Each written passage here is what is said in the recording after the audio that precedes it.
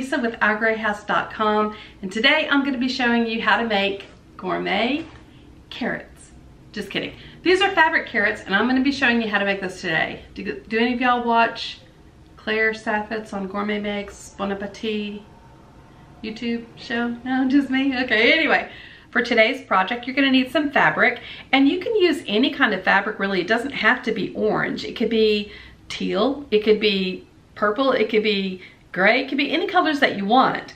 And you're gonna need some something for the greenery. So you can use yarn, you can use ribbon, you can use, um, this is like for the carrot top. I'm using onion grass that I got at Dollar Tree for a dollar. And you're gonna need a hot glue gun, you're gonna need some scissors, and you're gonna need something to stuff the carrots with. And loudly making noise now. Um, remember when we made the pom-pom tutorials the other, the other day? I saved all the leftover yarn. So that's what I'm gonna be using to stuff my carrots with today. All right, y'all, let's get started. What you're going to need to do is take a square of fabric, fold it in half, doesn't have to be super perfect, and I'm using this cutting mat here just to protect the surface, but you can use scissors, and I'll show you how to do that on the next one that I make. And I don't like my carrots too pointy at the end because I feel I just feel like it's hard to stuff. So I'm just gonna run my fabric cutters like that. Oh, see, it didn't even cut all the way through. Darn it. And there you go. Now I'm gonna go ahead and prep the other one again taking a, square, oh, I have enough for two. I don't wanna make two. I'm just gonna cut a smaller carrot and use my scissors and just cut up to the corner.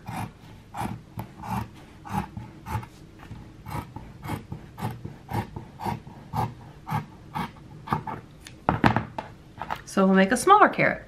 Now that you have your triangle piece cut out, what we're gonna do next is glue down the edge. And like I said before, I don't really like it too pointy down here because I find it hard to stuff, but your mileage may vary. You might have a better way of stuffing than I do. Also, you can use any type of fabric you want. You could use canvas or burlap, any color fabric you want, just to make it unique to your decor and how you like it.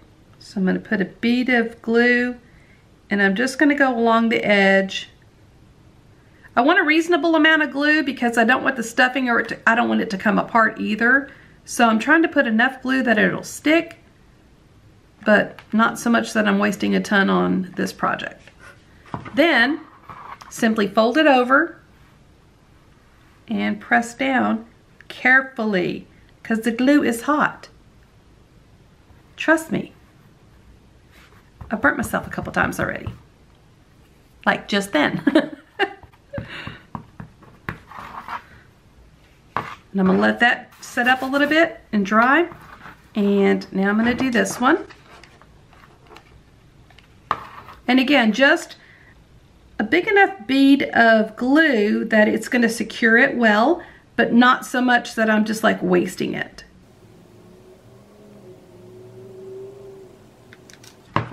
And then again, folding the fabric over very carefully and then pressing down.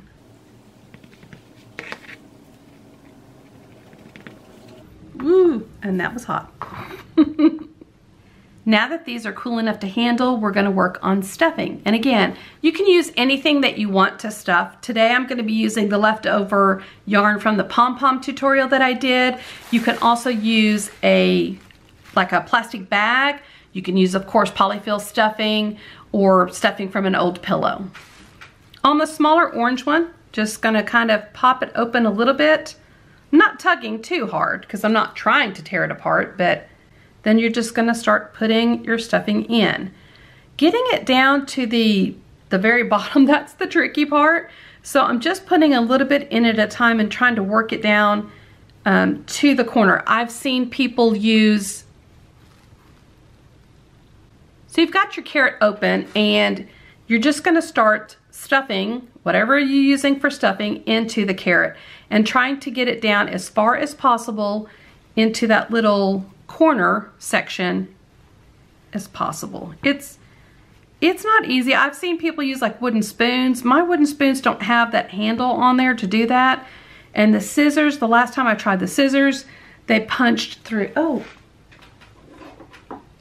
use my Apple Pen? Maybe that'll work. Trying to be careful, not trying to cut open the stuffing. And you can make it as full or as loose as you'd like. I want them a little stuffed, but not like crazy stuffed. Now I have it mostly stuffed and probably should have cut this beforehand, but we're gonna cut it now. So see how it's not like straight across? You can either tuck this in, which, I mean, you could do that, but I just cut it across.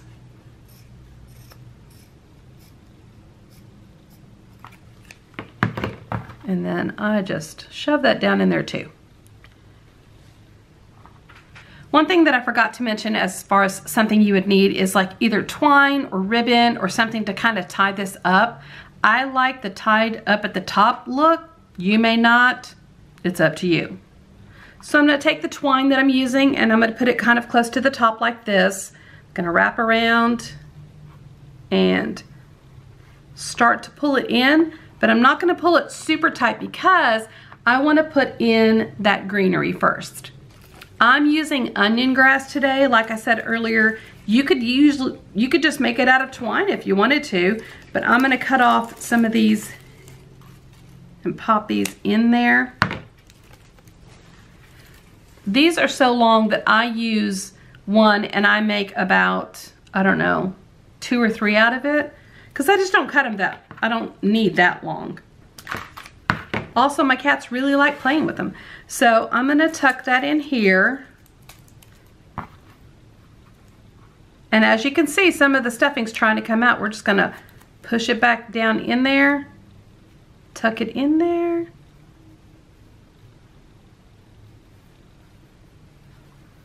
And then now we're gonna do it really tight and then make a bow.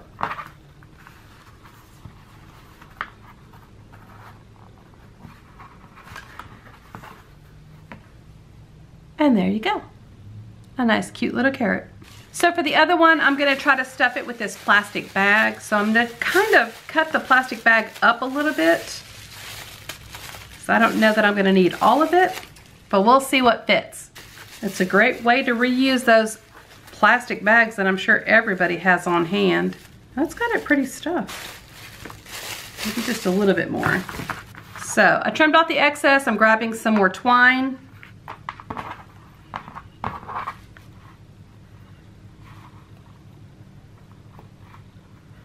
And again, just making a little, tying a little knot, stuffing this stuff, stuffing, stuffing the stuffing back inside and grabbing the rest of my little onion grass.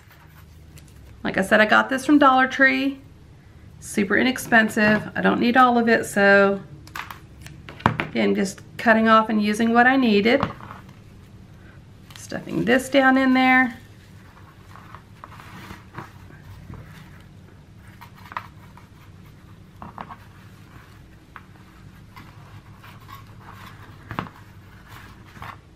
And there you have it, another carrot.